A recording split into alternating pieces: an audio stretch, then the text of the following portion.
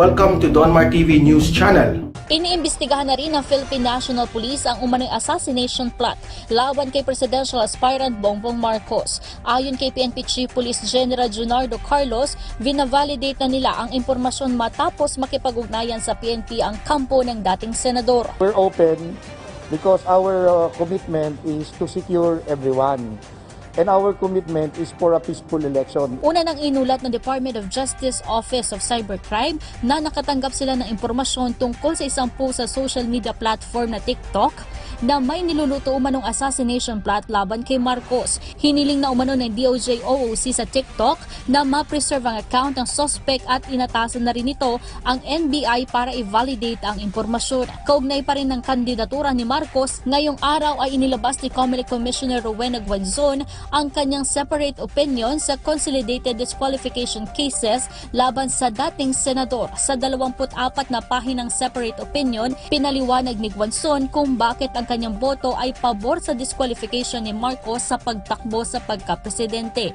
Iginiit ng opisyal na ang paulit-ulit na kabiguan ni Marcos na maghain ng kanyang income tax return mula 1982 hanggang 1985 ay krimen o paglabag na may tuturing na moral turpitude. Ayon kay Guanzon, ang kabiguang ito ni Marcos ay nagdulot ng negatibong epekto sa interes ng publiko. Ang apat na beses din umanong kabiguan na maghain ng ITR ay indikasyon ng lantaran kasalanan at sadyang paglabag sa batas at pagbaliwala sa legal na tungkulin. Hindi rin kumbinsido si Quanzon na nakatalima na si Marcos sa ipinataw na parusang multa ng Court of Appeals at patunay dito ang certification ng hukom ng Quezon City RTC na nagsasabing wala silang record na nakapagbayad na si Marcos ng kanyang multa. Ang kabiguan ni Marcos na magbayad sa korte, inamin din umano mismo ng abogado ng dating senador sa preliminary conference ng kanyang kaso sa COMELEC noong January 7. Question din niya ang resibo ng Land Bank na iprinesenta ni Marcos na may petsang December 27, 2001 dahil ang resibo ay para umano sa lease rental. Sa kabila nito, nanindigan ng kampo ng presidential aspirant na hindi maituturing na moral turpitude ang kaso ni Marcos at hindi ito maaring maging batayan ng kanyang disqualification. Tinukoy ng kanyang tagapagsalita na si Attorney Vic Rodriguez ang mismong desisyon ng COMELEC 2nd Division sa hiwalay na mga kaso laban kay Marcos kung saan base umano sa naunang ruling ng Korte Suprema noong 2009, hindi tinuturing na moral turpitude crime ang failure to file return. Commission on Elections, Commissioner Rowena Guanzon has voted to disqualify presidential aspirant Ferdinand Bongbong Marcos Jr. In a 32-page separate opinion, Commissioner Rowena Guanzon she uh, voted to grant the petitions for disqualification of presidential aspirant Ferdinand Bongbong Marcos Jr based on analysis of arguments and ev evidence presented by parties involved on Marcos's non-filing of income tax returns from 1982 to 1985. She said Marcos's failure to file income tax returns for which he was convicted for constitutes moral turpitude. The Supreme Court defined moral turpitude as anything that is contrary to justice, modesty, or good morals and depicts baseness, vileness, or depravity. Under Section 12 of the Omnibus Election Code, moral turpitude is a ground for disqualification to be a candidate and to hold any public office. Thus, she voted to disqualify BBM and release her separate opinion, though the ponencia or main decision of the case is not yet out. Guanzon further added, this is also to remove doubts she was bribed to delay the case. Ang sinasabi ko nga, wala namang malicious o ano. Nilabas ko na yung aking boto dahil sinasabi na suhulan daw ako. May retirement bonus daw ako. Meanwhile, COMELEC spokesperson Director James Jimenez says Guanzon's separate opinion is now part of the poll body's record. But as to whether it would take part in the decision of the case, Jimenez clarified it is not certain as of the moment unless the ponente or the commissioner in charge will release the resolution before Guanzon will retire on Wednesday, February 2. If after her retirement, the resolution will be only released, Commissioner Guanzon's vote will not be counted or as if nothing at all. Currently, there is no assurance when will Commissioner Amy Ferolino, being the ponente, will release the resolution. Ferolino in a memorandum to Commissioner Guanzon today stresses that there is no delay on the case. She is reviewing three consolidated cases thoroughly to clarify or to craft an objective resolution. It's the ponensya that's controlling. Okay, when I say ponensya, I'm referring to the main decision, right? Um, as in any case, it's really the main decision which is controlling. Ultimately, the disposition of the case depends on the ponensya. So that's what we're waiting for. This morning, Guanzon challenged Commissioner Perolino to release the draft resolution if she is not bribed. Kaya sinasabi ko, Commissioner Perolino, sagutin na natin ng taong bayan. Kung hindi ka nasuhulan, ilabas mo na ang resolusyon bago ako mag-retire. Para klaro tayong dalawa, malinis ang pag-alis ko sa Comelec at malinis din ang pangalan mo. Meanwhile, Herlinda Malacanang, through Cabinet Secretary Carlo Nograles, said they will let the Commission resolve internal issues that they may have. And as an independent constitutional body, it has rules, protocols to resolve issues.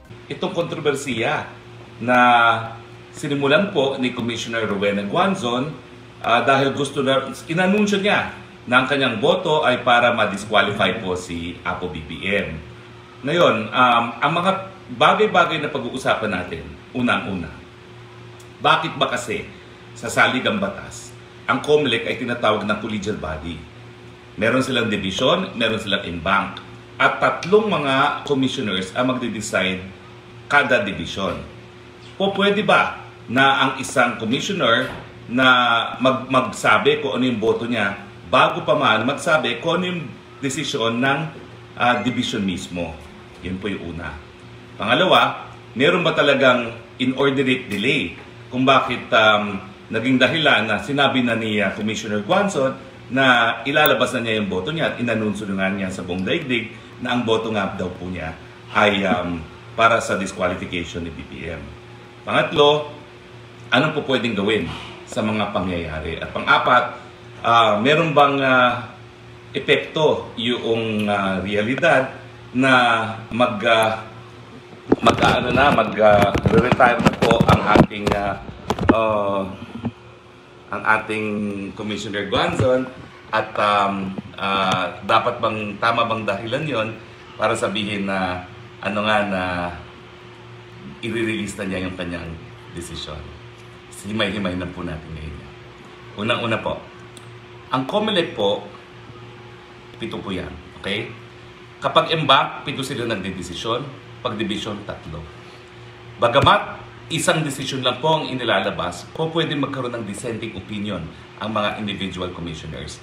Wala pong pagkakaiba yan doon sa ah, Korte Suprema or sa Court of Appeals. Pag tinawag natin collegial, ang nagdedesisyon, hindi lang isang tao. Ang nagdedesisyon, yung tatlong tao.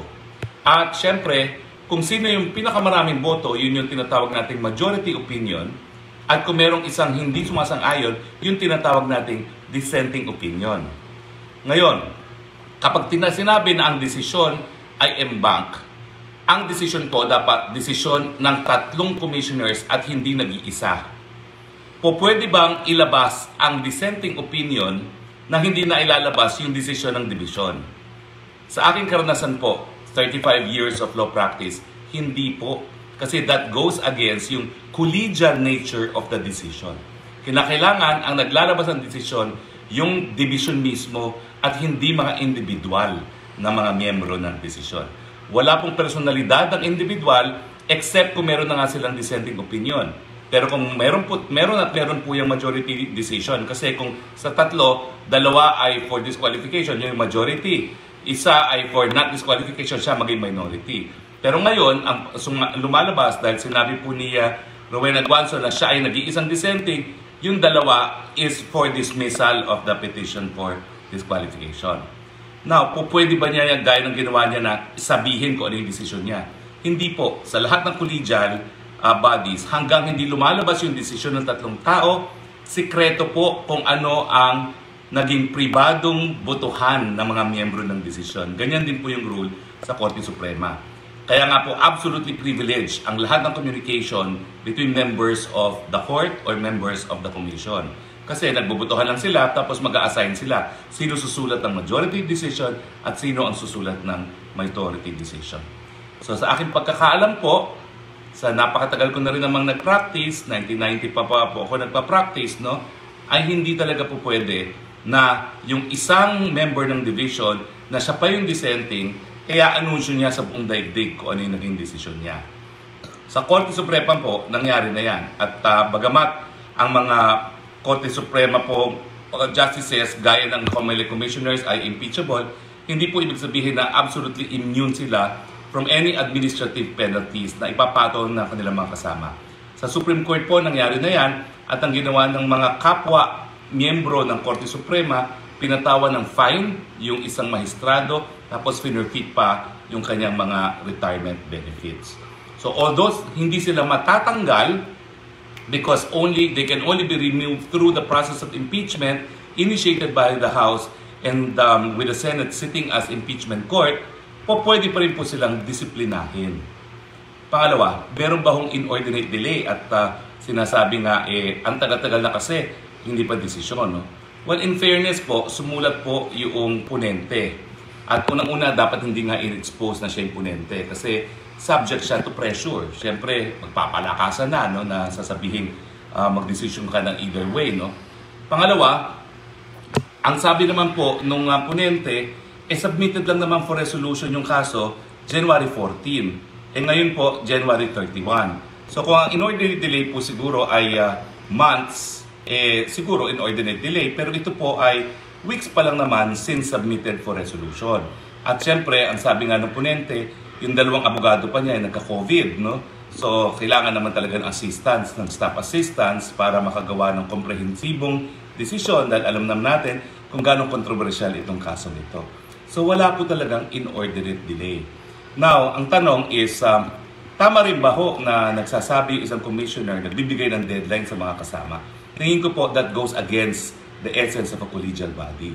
Collegial, pantay-pantay kayo. Dapat nag isang salita, isang boses. Bagamat, po pwede magkaroon ng ibang desisyon at po pwede magkaroon nga ng dissenting opinion. Okay lang po yun. But, kinakailangan talaga, isa lang kayo. Bakit? Eh, ganun po sabi ng korte ng ating saligang batas. Meron tayong COMELEC na magsusupervise at aakto rin pong West no, sa mga kaso ng disqualification at iba pa and they must act within either within a division or sa COMELEC and Bank. Ngayon, meron doon pong issue na meron daw nakikialam ng mga senador.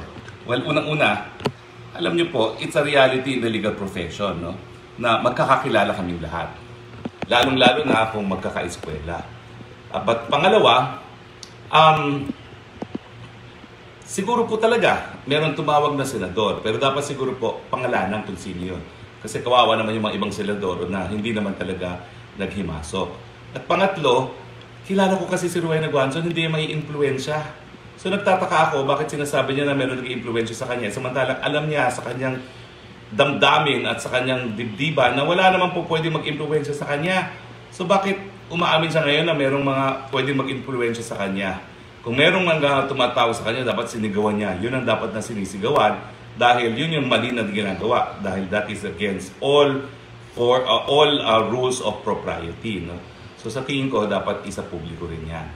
Ngayon ano mangyayari? Ngayon magre-retiro na si um, Commissioner Guanzon. Kasi nga hanggang February 2 lang siya. O pwede ba siya mag-insist na bago siya mag-retire ay eh, lumabas ang desisyon ng maging bahagi ng kasaysayan ng kanyang dissenting opinion. Hindi po eh. Hindi. Kasi unang-una eh, alam naman ng lahat, fix ang termino niya. Ang termino niya talaga ay matatapos sa February 2. So, wala pong nag-orchestrate na all of a sudden, matatanggalan siya sa COMELEC kasi talaga alam niya sa mulat mula na yun talaga ang kanyang term of office hanggang February 2. Pangalawa, kung talagang hindi po mapopromulgate na decision yan, there is no decision to speak of yet. At kapag wala pa pong decision, walang dissenting opinion. So kung talagang dumating po ang February 2, hindi na siya commissioner, maski gawa na yung decision niya, that is only a piece of paper. Because you cannot promulgate unless the division has promulgated the decision and you cannot register your dissenting vote unless there is an actual promulgation of the case. Kailangan decision muna para maging bahagi ng desisyon yung dissenting opinion. So ang tingin ko po, papel ang magiging dissenting opinion ni uh, Commissioner Guanzon kung lalabas ang majority decision bago po ang end of term niya ng February 2. Well, uh, uh, alam na natin kung anong desisyon ng First Division. Ang desisyon ng First Division by vote of uh, a majority of two is to dismiss the disqualification which is the exact same decision of the Second Division. Well, gaya nga sinabi ko, no? kasi although one division does not control the other, ang totohanan niyan is um, there is a need for judicial consistency. Kaya naging consistent lang yung first division sa pagdi-dismiss ng disqualification case ni BBM. It all boils down again to yung sinabi ko nung una kong uh, Facebook Live. Ang presumption po talaga dahil karapatan uh, ng mamamayan ang to um, uh, vote and to be voted upon sa eleksyon, there's a heavy presumption of unconstitutionality sa mga pumipigil na tumakbo sa eleksyon. At ang, ang presumption of course always is may karapatan dapat mabigyan ng pagkakataon na ma-exercise yung karapatan na yun. So, it seems na because of the declaration of pagdating po sa track record ng ating Supreme Court, they normally defer to the constitutional body that has primary jurisdiction on a specific matter. At pagdating po sa mga election-related matter, syempre po, yan ay ang Commission on Elections. So, anong prediction ko? Well, pwedeng umakit po yan sa Supreme Court, but the Supreme Court will receive all appeals from the COMELEC, again, with the presumption that the COMELEC discharge its duties correctly. And it is the heavy presumption now, it is now the heavy burden of the petitioners to show kung bakit sa sa parehong division ng COMELEC ay hindi nagbago yung desisyon. Of course, ang motion for consideration, mariresolve pa po yan. Uh, pwede pong makarating yan sa embank, no? Pero yun nga po, no? there's that respect accorded by the uh, Supreme Court to the findings of specialized constitutional bodies. At saka wala na pong issues of fact na na na titignan ng ating Korte Suprema, puro issues of law lang po. So, ano pong uh, ating conclusion? Well, it seems that for now, BBM remains a candidate pursuant to the heavy constitutional presumption that he can run. Ultimately, ulitin ko po, kahit ano pang sinasabi natin na conviction yan of moral turpitude, taong bayan po ang maghuhusga sa eleksyon. Sa isang demokrasya, dinadaan po natin sa eleksyon, taong bayan ang maghuhusga kung karapat dapat kang manungkulan bilang presidente si Apo BBM. At ang aking pakiusap, hayaan po natin ang taong bayan na magdesisyon. Ulitin ko po, this is a political question that only the people in their sovereign capacity can resolve.